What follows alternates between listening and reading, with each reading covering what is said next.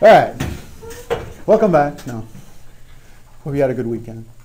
Uh, today we're going to talk about um, transducers and sort of begin the process of the analog circuit design uh, by looking at specifications we're going to need for that analog circuit. Again, this is in uh, the book. Uh, look specifically in chapter 10, section 2. Okay. Uh, the kinds of microphones, uh, the kinds of uh, sensors that are that, that you may encounter are measuring sound. Okay, and there are two main ways that we can make. Well, there's probably more. Uh, there's the cheap and inexpensive way, which is an Electret microphone, and I'll, I'll show you some circuits for that. Uh, more high fidelity microphones actually don't have an integrated circuit, but they're made out of capacitors, and so they have a different interface. So if you've got a, a, a capacitive microphone you're interfacing, it's a different circuit than the Electret, although very similar. And a bunch of different ways to measure distance. Um, in the you can use sound, you can use, uh, you can use light, you can use lights of various frequencies. And then in lab nine, we're going to measure temperature. And we're going to measure temperature with a thermistor, uh, but I'll compare the thermistor to the thermocouple in today's lecture. Okay, so uh, here's an electret microphone. Uh, this guy here cost about 50 cents. And so it's the best micro, it's the best sensor you can buy for 50 cents, so don't expect miracles from it. Um, if you are doing sound, uh, you may want to investigate uh, awesome ways to do signal to noise, to do noise uh, suppression in digital filtering. Um, but the way it works is there is a, a, diaphragm here which moves out with the sound pressure, and that diaphragm will then uh, cause a change in the sensor material. So this is what's called a primary sensing unit. Primary sensing. And then this is the secondary conversion. So this is typical of a sensor to have a primary conversion. And what that will do is change a um, change the the uh, the behavior of this JFET. That's the so the primary is the the primary is the diaphragm, and the secondary is the transducer. Uh, the transistor, which is going to be a function, the conductance of that transducer will be a function of the um, uh, of, of the displacement, which means that as this wiggles back and forth, this wiggles up and down in voltage. Um, but it, it needs power, and so typically in an electret, we're going to give it a power. Uh, so we're going to give it a voltage in, uh, and this voltage in is going to produce a current in, and that current will, will bias or activate the transistor. So on top of the DC will be an AC. Okay? So again, it's an AC signal, and so if I look at this point here, something really bad happened. Something evil happened in the 445L world, right there. And so explain what you know about a capacitor. It has two behaviors in the computer scientist thought, right? It behaves one way and another way. What are the two ways that capacitors behave? Open and short. Open and short. Okay? At DC, it's a what? Open. It's open. Okay? And in AC, where the sound is, it's a short. So if this signal has no DC, what does it look like?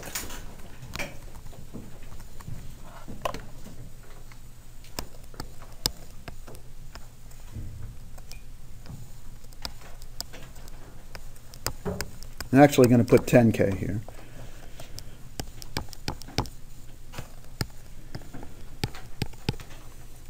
What does this signal look like? A signal with no DC has what property?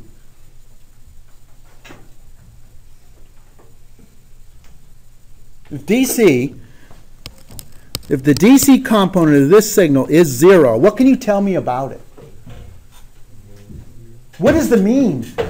The mean has to be zero. Okay. Well, if the mean is zero, tell me some other properties. It what? It has to go up and down. right? It has to be both positive and negative. Now, it turns out uh, we're powering our system with, with 0 and 3.3 volts. So all of our circuitry, all of our circuitry is powered with 3.3 volts and ground. And so a negative voltage is going to clip. That's a problem. Okay, we're going to fix it in the next slide. Okay? All right. And the way we're going to fix it is to bias it, to float it up to one half the power line. And so if this, um, if this, okay, here's just a sidebar. Uh, uh, the data sheet tells you to use a 2K resistor right there. That's what the data sheet will say. And my experimental observation is I get a much nicer sound wave at 10K. Uh, I don't know the physics of it, but it's just prettier. So when you get to lab, uh, when you get to lab eight and you're building it, you might try different resistors in that spot. No problem in lab seven because when we get to lab 11, you can solder whatever you want in that spot. Okay, so again, this was that. This was the part. This was the the. Uh, this was the place that we drew on the other picture. So what I'm going to do is I'm going to force it to go to 1.65 volts okay, by using a biasing technique. So if I look at this circuit, V2, right, this is not the same one I did before, okay? If I go back over here and I add these two 20K, 22K resistors, okay? Now, what is the DC response of this? Right? Think about that. The DC response of this circuit is what? I have a question. There. Yeah, go. Uh, what part of the circuit did you say there was a zero DC? Okay, in the where I've labeled, okay, uh, blue, V1, V1. Okay, how's that? Am I clear now? Okay, but But in my other circuit, it's not zero. The blue circuit here will make the average of V1 zero. But now that I've uh, now that I've added the two resistors, I'm going to call this V1 prime. Okay, and it's going to be up here at 1.65.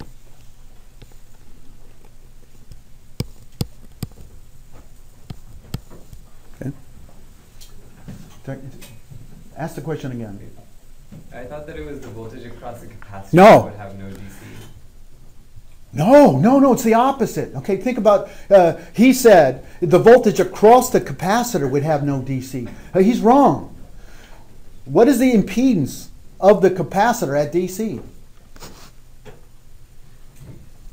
You got it upside down. What's the, what's the impedance at DC? What is the impedance of the capacitor at DC? Infinite, so it can have a big voltage difference. Right? It can have a big voltage difference. It's at high frequencies that the impedance will go to zero, in which case there'll be no, no, no voltage difference. So what I'm saying is the V1, the output V1 relative to ground, blue, okay, the output relative to ground of V1 will be zero without the two red resistors. When I add the two red resistors, it'll go to 1.65. So the sound wave will be floating up within, and so this guy here, right, with the blue circuit, this guy is very sad. Okay? And with the red circuit, he's very happy because everything's within the within the power line. So those two resistors are very pop are very important. Okay? And now I have an amplifier, and we're going to talk about amplifiers uh, in, a, in a couple of lectures. Uh, but uh, this capacitor here will also cause this guy here to float to 1.65 volts. So if you look at that spot, that'll be 1.65 volts, and this amplifier is going to is going to have a gain of 100. Uh, and it also is, is also a low pass filter. And we're going to talk about the op amp circuits in a couple of lectures. Okay? So I just wanted you to, to, to get a sense of how we interface the electret. So questions on this circuit? Uh, what is the power supply rejection ratio of this circuit? Okay? That's a, that's a parameter which is a measure of the ratio of power line noise. Okay? If I have a power line, if I have a 10 millivolt ripple on my 3.3 line, how much of that 10 millivolts is showing up in my output? Turns out all of it. Okay? Power line ripple is going to come right through here. Okay? So this is a bad circuit for, uh, for power supply rejection ratio. Okay, so the power supply and rejection ratio is the ratio of the power, power, the noise on the power line to the noise on your output from the power line. And so if you want lower, uh, if you want a lower, um, uh, uh, no lower noise system, you can replace this with your shunt diode output. Right? So if you remember how you make a, uh, you could use a 2.5 volt shunt diode output and use it to power up your system. Uh, again, this circuit's acceptable as is. All right. Um, so in summary about the electret, uh, get the voltage right. Uh, the impedance is what they recommend for that for that resistor. Uh, for the ones in my office, it's a 2K, but as I said, uh, uh, you might experiment with a larger value. You can either get a directional or omnidirectional. I think all the ones in my office are omnidirectional. Um, yeah, why, if anybody noticed, uh, um, anybody watched any of the YouTube videos? Okay. What happens when this guy squeaks his chair? Anybody notice? He's a chair squeak. I don't know. I don't know which one of you squeaking the chair. You know who you are. Squeaking the chair on the YouTube videos. Yeah, somebody else. Yeah, he's pointing fingers. Do you hear it? Does anybody hear chair squeaking on the YouTube videos? Yeah. What what type microphone did I buy? I bought an omnidirectional. Next semester I'll buy dire- I buy, I'll buy I'll buy directional and that way you don't hear no chair squeaking. I'll figure this taping business out eventually. Right? Uh, sensitivity is an important parameter for transducers, and when you think of sensitivity, you think of this. Um, what, are, what is the input to this transducer? What's the input? Okay, the units of, of sound are what? By the way, Pressure? pressure, sure.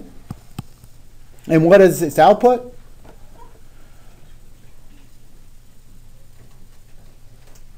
Voltage. Okay, We just saw that. Okay. And so sensitivity is the is the is the oh up, up backwards is the output over the input. And so the more sensitive it is, the better it can uh, it can it can pick up sound. Now it turns out to be uh, measured in decibels because they relate it to a specific uh, value. But you can use sensitivity when you're comparing one transducer to another as long as the units are the same. Uh, the last is the frequency response. Again, the frequency responses, the ones that we, that are in the kit are not very good, and so it will have a low, it will not pass low frequencies, so it'll have essentially um, two cutoffs. It'll have both a high frequency and a low frequency cutoff. Again, go ahead and get one of those data sheets. Uh, uh, Who's got the black box of stuff? Okay, um, pick out the one that looks like this and, and hold it up so everybody see that's an ultrasonic transducer. We'll use it in 445M. You give it a pulse. Uh, this hold is actually pretty constant, and then you get an input, which is a function of the uh, speed of sound in air, uh, and we measure that time. So the essence here is we need to measure time. Okay. Um, another time measurement is the accelerometers. Accelerometers basically will generate a pulse or a frequency or a pulse width uh, which is a function of uh, acceleration. So this is a, a time measurement. And then who's got the box? Open, uh, lift up the one that looks like this. Uh, this one's got an awesome ability. Uh, look at this waveform. What if you read? Uh, what if you read one and a half volts? How far away is the object? How far away is the object? If you re- you read one and a half volts, it's so nice. You just hook it up and you read one and a half volts. How far away is the object?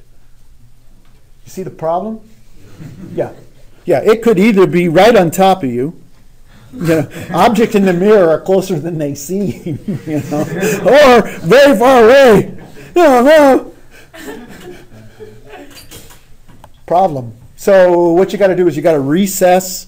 You got to recess this sensor away from the, the what you're trying to measure to make sure you don't get into that range. Okay, uh, or you got to use some sort of history thing to see where you are. Um, otherwise, this is a very nice curve. It's just like uh, voltage is one over the distance. So other it, once it once it starts working. Okay. Uh, lab nine is going to use temperature. Okay, who's got the box? Uh, lift up the thing that's smallest. Uh, it sort of look, sort of looks like a bead with two. Sort of looks like this. That's a thermistor. It's, it's got a it's got a semi ellipsoidal uh, ellipsoidal um, uh, uh, tip. Uh, that one's coated in epoxy. Some of them are glass coated. The actual thermistor material is embedded in here, and it's got two leads on it. And uh, the input is temperature, and the output is resistance. Um, we're going to show you how to interface that later, but uh, basically we have resistance. Um, the thing about temperature sensors is they measure the temperature of the of the sensor, not the temperature of the object. So it's measuring the temperature of whatever the center of this thing is. Okay? Um, uh, lift up the, the thing with the with the weird wires and uh, the brown wires, the long uh, circular brown wires. Yeah, hold that one up. Uh, look at uh, look at uh, find on the brown wire. It looks something that looks like a ball. Okay, Can you see it? Yeah, the tip. Uh, that's a weld joint.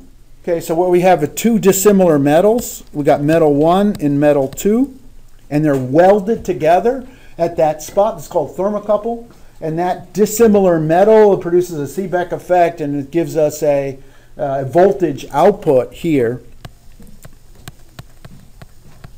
Uh, this is awesome. I, one of the one of my summer projects was to make a beer cooler, and so the essence was you probably saw it on uh, you know uh, on on one of the TV channels, but uh, was what's the fastest way you can cool beer? So I, I took a Peltier device. A Peltier device is thousands of these thermocouples all welded together in a row, because it turns out if you put voltage in, uh, the temperature difference will happen. So the way that thermocouples work is the temperature difference between this temperature and that temperature generates a voltage output. Whereas if you put a voltage in, it'll generate that temperature difference. So the point was how to make something cool really fast by using a whole bunch of these Peltier coils all around. So it was about 40 amps worth of power because it's essentially you're driving voltage into a short, right? It's it's a it's wire welded together. There's no impedance in this whatsoever, uh, and so that current in generated a, a temperature out and it cooled pretty fast. Yeah. For the thermistor, is there like one side that's the? Uh, he, the question he asked is where does it actually measure? And it, uh, you know, I used to do, boy, it's, it's not going to be on the test. But, you know, there's some math involved. Do you really want to see it? I, I, I did this. This is something. Okay. Here's an interesting question. Okay. And that is uh, what's the definition of a resistance? What's the definition of resistance? It's defined as what? Voltage over current. Okay. All right. So, all right. Voltage. That's the definition of resistance. Okay. So if I put in a voltage here, okay, where does the, and, and uh, this is the, okay, so think three-dimensional. I got two cylindrical wires and a spherical semi semiconductor, which is what a thermistor is. You, sorry, you asked this question. I actually know the answer to this one. Okay, the answer is between the two wires. Is the, is the bottom is a shortcut answer. Okay, it's the temperature between the two wires. Because where does the current flow? If I were to draw the current, uh, any 325 guys in here? Right, this is Maxwell's equations. Where's the current flow? Uh, is there a voltage? Is there a voltage difference on the copper wire? Right. If you look at the the, the three-dimensional uh, uh, potential down a copper cylindrical copper wire, what can you tell me about the potential at all spots on the copper relative to semiconductor? Right. Copper is what?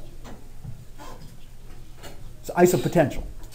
So this voltage here is equal all the same. Okay? So now where's the current going to flow? You know, quickest way, right? It's going to flow, this way. But if I look at it in the other dimension, where's the current going to flow? Where are the current lines? Yeah, it's going to be. this is a 325 question. But the problem is it's a function of the temperature. And so this flow here, this current line, is a function of the temperature at that spot, the temperature at this spot, the temperature of this spot, the temperature. So it's essentially a function of the temperature in here. Essentially, short, short answer or long answer to a short question. Uh, the point is, it's uh, the same thing you can say about your uh, thermocouple the temperature that it's measuring is the temperature of the weld joint. So if this is one material here, and this is the other material there, and it's welded together, that's the temperature it's measuring, the temperature at the weld. Uh, the only uh, the, the, the exception to the rule about where does it measure temperature is infrared.